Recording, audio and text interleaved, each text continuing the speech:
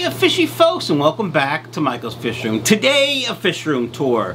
Grab a healthy snack and beverage. Stand by.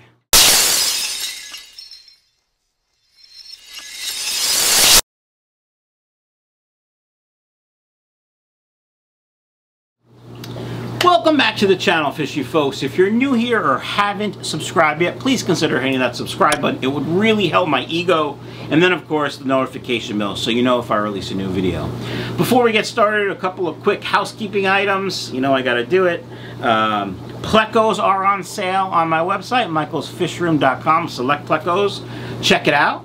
And uh, thank you for 400 followers on TikTok. I just hit 400 followers last night.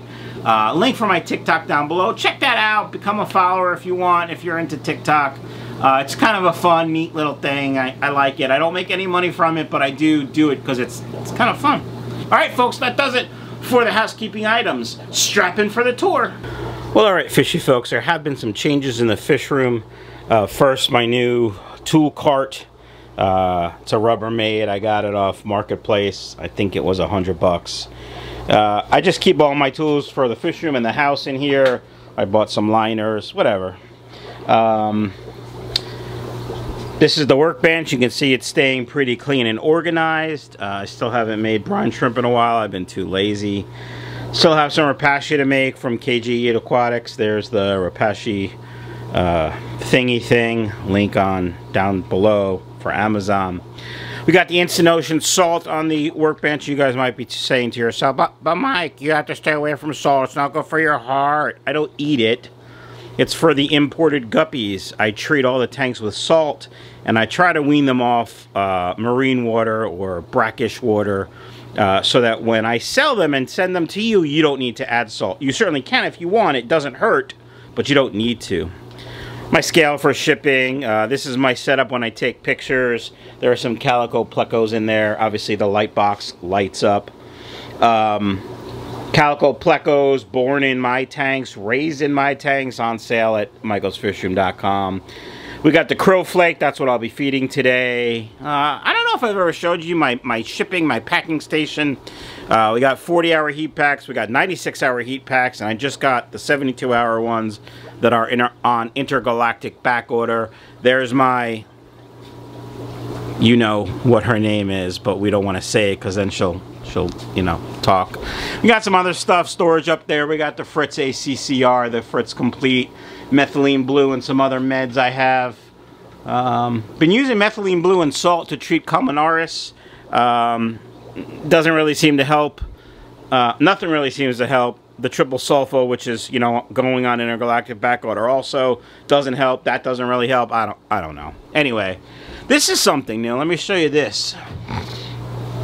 So I've been using deli cups, the tall ones. Here, let me just give you an example how tall that is. See, there's my hand. I've been using those to store stuff.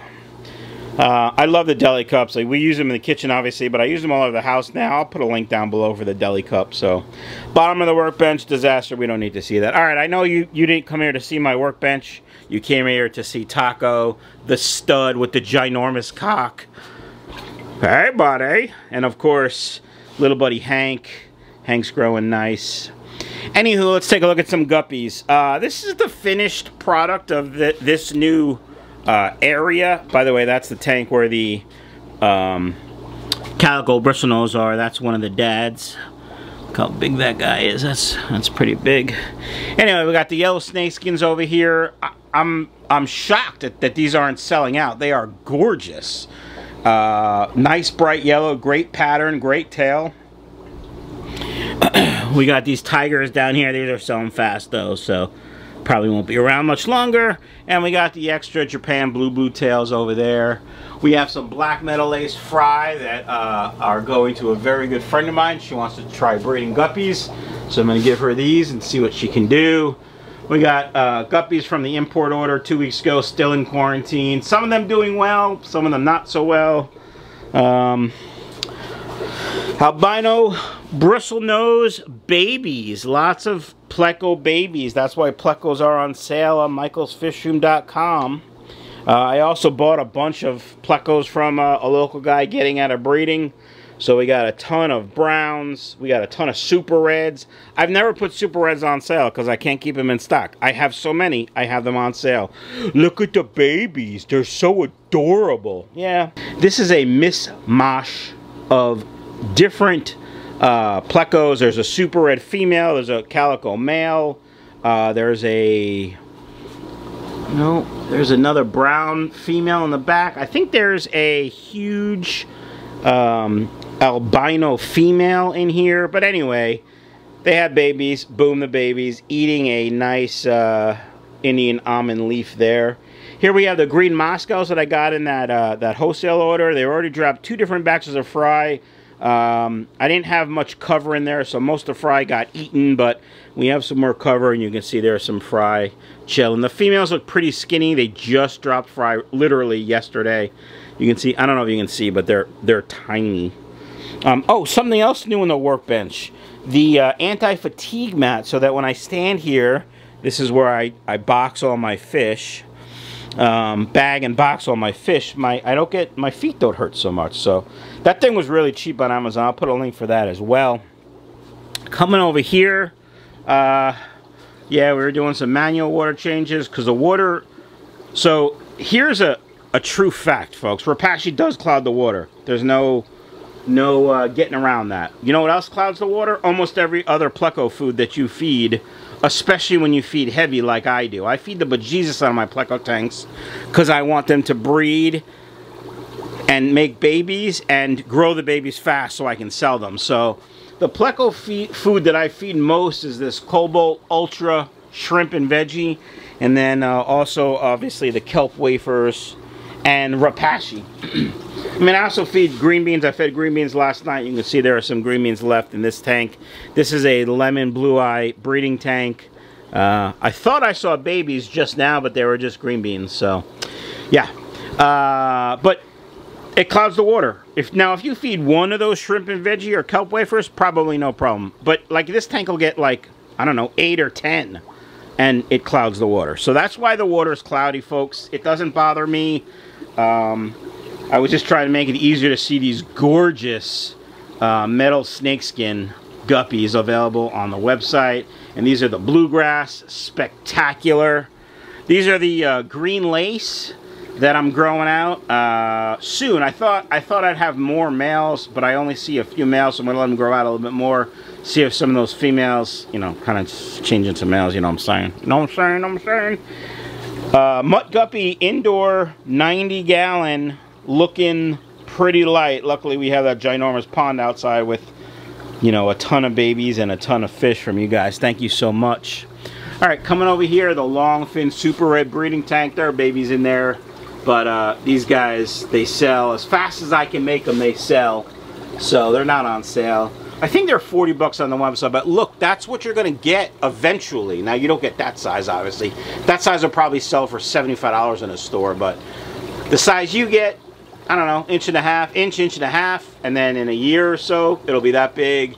Boom, gorgeousness. We got the longfin albino uh, plecos. That's longfin albino plecos. I don't think many of these babies are going to be longfins, but I guess we'll see when they grow up a little bit half black whites and a few angels left. Uh, snakeskin blue tails, I sell out of this tank first because they've been here the longest. Uh, there's some babies in there that are growing up. We got the purple metal mosaic, which is really blue metal mosaic on my website. I just typed the name wrong. Uh, and super reds, grow outs in here. And then over here we have more brown plecos and the tuxedo kois, which uh, also selling pretty fast. These are great guppies. They're one of my favorites. The cute little orange face. Look at the little orange face. It's adorable. Adorable. All right. There's my heater. My buckets that are all stuck together. Blah, blah, blah.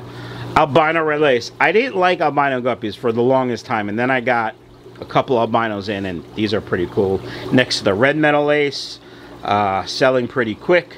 And of course, blue Moscows, which these are blue Moscows or blue Tarzan, and uh, what I have left really isn't high quality, so I use these. I'm letting see how much the grow outs grow and how blue they are. Um, you know, like like that should be that's a, a male, right? It should be full one color. even that one's not full one color. So they're not high quality. That's left. So they're actually out of stock on the website. But uh, these go either in mutt guppy packages or I'm waiting to see how those little ones grow out to see what coloring we get. Um, you know, I try to sell only high quality stuff. Yeah, sometimes stuff gets out of here that's not high quality. What can I do? I'm human, but I try to sell you high quality stuff, high quality, healthy stuff. I know, sexy, sexy, sexy. But look at these.